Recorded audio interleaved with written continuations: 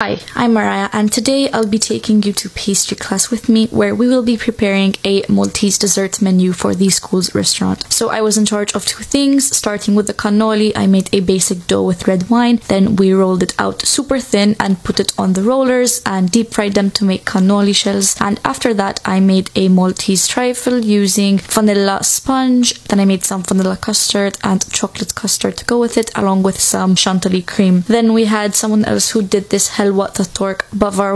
Then we just prepared some orange cream, a hazelnut biscuit base, and a chocolate and almond biscuit base. Then we crumbled up the cannoli to create a deconstructed Maltese platter. And for the petit fours, we had biscottini tal-lewz, which are these amazing almond biscuits. And this is the finished platter. Each guest will be getting one of these along with the petit fours and coffee after their four course meal. And that is a day in the life of a culinary arts student.